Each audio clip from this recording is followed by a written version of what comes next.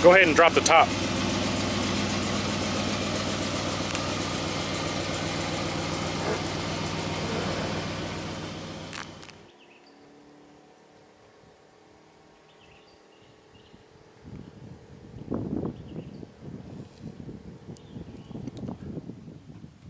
Bring it back up.